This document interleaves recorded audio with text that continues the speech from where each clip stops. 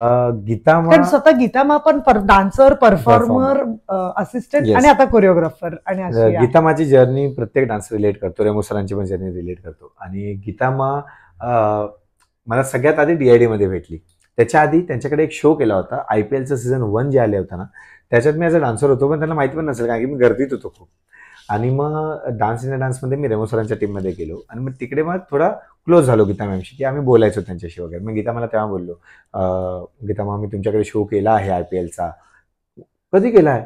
Ma'am मी गर्दीत होतो तुम्हाला मी ओळखणार म्हणजे मी मी कसं ओळखणार मला? मजा ही मजा वगैरे गाणं केलं होतं. आणि मी ती स्टेप करून दाखवली हा यार ही कोरिओग्राफी था म्हणले हा ये. तर एक चांगली की माझी मेमरी खूप चांगली आहे. म्हणजे तुला मी- आता तेच म्हणणार होते तुला तेव्हाची स्टेप आठवत हा मी एकदाच शिकतो. आणि काय माहिती ही ब्लेसिंग आहे मला. मी पूर्ण दिवस मी एकदाच आर्टिस्टला असली पाहिजे मी एकदाच रिहर्सल करतो मी जास्त करत नाही. आणि डायरेक्ट टेक्निकल शूटला जे करतो मी ते तोडून करतो. तसं आहे माझं. तर मी झालं झालं. आणि मग तो एक सीझन झाला ज्यात मी कंटेस्टंट होतो. एलिमिनेशन झालं वगैरे. डायरेक्ट गीता मला भेटली सुपर डान्सरमध्ये आणि ते खूप खुश झाले की यार माझी मुलं जेव्हा पुढे येतात आणि ते मला खूप आवडतात. आणि गीता मा फक्त स्क्रीनसाठी मा नाही आहे इन जनरल ती ऑफ स्क्रीन पण ते माचं काम खूप छान करते. मेसेज करणं असेल फोन करणं असेल तुझी तकलीफ आहे क्या? तुझी कुछ प्रॉब्लेम आहे क्या? आताही खूप हेल्प करते माझ्यासाठी माझ्या मुलासाठी वगैरे. शिल्पा मॅम पण त्यात. शिल्पा मॅममुळे आज गर्वीचं गर्विकचं ॲडमिशन ज्या स्कूलमध्ये झालं आहे तर त्या मी आपल्याला एंजल्स भेटतात देवाच्या रूपात. तर गीता मा आहे शिल्पा मॅम आहे रेमो सर आहेत. ते हे मला एंजल्स भेटले आहेत माझ्या लाईफमध्ये कारण की मला नव्हतं वाटलं की शिल्पा शेट्टी मॅमचा नंबर असेल माझ्याकडे माझ्या फोन डायरीमध्ये किंवा गीता माचा. हे खूप मोठी लोक आहेत. प्रत्येक डान्सरचं इन्स्पिरेशन आहे. तर गीता माने ऑनस्क्रीन जी कमेंट जी करते ती खूप मनापासून करते. आणि मी बघितलं जेव्हा मी इमोशनल होतो तेव्हा ती इमोशनल होते. त्यांचा सजदा मिळतो टी व्हीवर किंवा ते बडे कलाकारों के साथ खडे होके बात करण्याची. तेव्हा हे सगळे शब्द बोलतात तेव्हा आपल्याला असं वाटतं की यार आपण खूप शिकतोय. आणि अजून आपल्याला खूप शिकायचं आहे कारण की एक अशी व्यक्ती जिने डान्समध्ये खूप काय केलं आणि तिला बघून कुठे ना कुठे त्यांचे स्टेप बघून आम्ही स्टेप काढायला शिकलो असेल किंवा त्यांचं डिरेक्शन पॉईंट ऑफ व्ह्यू कसं आहे गाण्याला कसं व्हिज्युलाइज करतात किंवा अवॉर्डमध्ये कसं कोरॅफी करतात ते सगळं बघून आपण शिकलो आहे आणि जर ती व्यक्ती तुम्हाला बडा कलाकार म्हणते किंवा डान्सचं बिरबल नाव देते किंवा डान्सचं एंटरटेनर नाव देते तर ही खूप मोठी गोष्ट आहे कारण की त्यांचे कमेंट्स कुठे ना कुठे लोकांसमोर लोकांच्या कानावर जात आहेत आणि लोक त्या शब्दांना खरं मानतात. कारण की ती कॉम्प्लिमेंट आमच्यासाठी पण खूप मोठी असते आमच्या कामासाठी खूप मोठी असते. आणि त्या कॉम्प्लिमेंटमुळे आम्हाला पुढचं कामही मिळतं. पुढचा एपिसोड अजून चांगला करायचा आहे यार. इतना अच्छा बोला आहे हमारे लिए. तर आपल्याला अजून छान बोलायचं आहे. अजून छान करायचं आहे कारण की आपले कॉम्प्लिमेंट्स अजून वाढतील. आणि कसं असतं ना माझं आता मी चांगला कोरिओग्राफर का आहे? जेव्हा माझं कंटेस्टंट चांगलं काम करतो ना तेव्हा ते बोलतात क्या नाचा यार तू? क्या कोरिओग्राफी था? भले आमचं नाव नाही घेतलं पण क्या कोरिओग्राफी था म्हटल्यावर आमचं नाव मोठं होतं.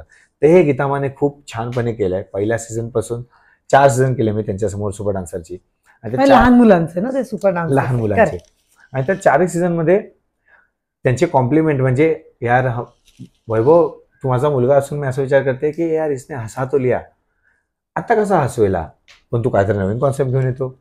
अभी ये लास्ट हो गया रे यार इसके बाद नहीं हसा पाएगा. तू असून नवीन एक कॉन्सेप्ट घेऊन येतो. तर त्यामुळे तुझ्यासारखा कोरिओग्राफर प्रत्येक सीझनमध्ये पाहिजे.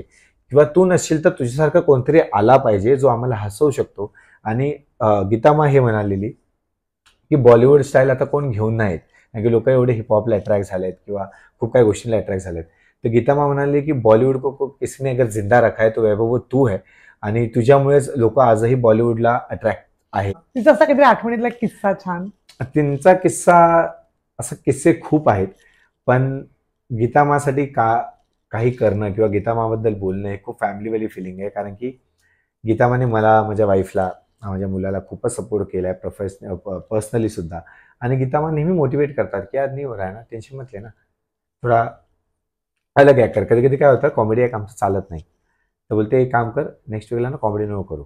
काहीतरी इमोशनल कर. काहीतरी वेगळे सब्जेक्ट घेऊन कर. मग तो एक हिंट असते की तुझं काम पुढे अपग्रेड होणार आहे या शोमध्ये त्यासाठी ते मोनोटोनस नको वाटायला. त्यामुळे तू वेगळं काहीतरी कर. मग त्याला मी खूप सिरियसली ऐकतो. दुसरं गाणं करतो आणि ते हिट होतं. त्याच्यानंतर परत कॉमेडी करतो. ते सुपर हिट होतं. तर गीता माने इन जनरल मलाच नाही. आम्ही जे आमच्या युथ जनरेशनमधले जेवढे पण ते कोरिओग्राफर आहेत आता त्या सगळ्यांना कुठे ना कुठे ना ती न बोलता खूप हेल्प करते. आणि त्यामुळे आज ते खूप प्राऊडली बोलते की हा माझा मुलगा आहे. आणि ज शिल्पा मॅमने माझ्या कामासाठी कमेंट केलं किंवा अनुराग सरांनी केलं किंवा कुठलेही आर्टिस्ट येऊन कमेंट करतो. तेव्हा पहिला अश्रू जो येतो तो त्यांच्या डोळ्यात येतो. कारण की हा मला विचारते खरंच तेवढ्या रडतात खूप इमोशनल आहेत ते मनापासून. आणि ते तेच बोललो ना आम्ही जे सात आठ लोक आहेत विवेक आहे प्रतीक आहे मी आहे श्वेता असेल पॉल असेल वगैरे या सगळ्यांसाठी खूप मनापासून ते रडतात. आणि त्यांना पाहिजे की ही मुलं मोठी झाली पाहिजे यांना बघितलंय मेहनत करताना. हे अजूनही मेहनत करतात त्यांच्यात. ती कला आहे की हे फक्त शोज नाही हे खूप काय मोठ्या मोठ्या गोष्टी करू शकतात. आणि जेव्हा कुठला मोठा आर्टिस्ट असेल सलमान सर असतील किंवा रणवीर सर असतील अजय देवगन सर एवं वगैरे बोलतात की क्या कोरियोग्राफी किया है? अगर ये गाना हमारी मूवी में ऐसा करते तो शायद गाना और हिट होता. असे काही कमेंट जेव्हा देतात तेव्हा गीता माझ्या डोळ्यात अश्रू येतात आणि मग त्यानंतर आमच्या डोळ्यात अश्रू येतात. म्हणजे ती एवढी कनेक्टेड आहे आमच्या कामाशी आमच्या नावाशी आमच्या फॅमिलीशी सुद्धा. आजही ती गीतामा खूप बिझी असेल त्यांच्या लाईफमध्ये तरीही दोन दोन हफ्त्याला मेसेज करणं गर्विक कैसा है?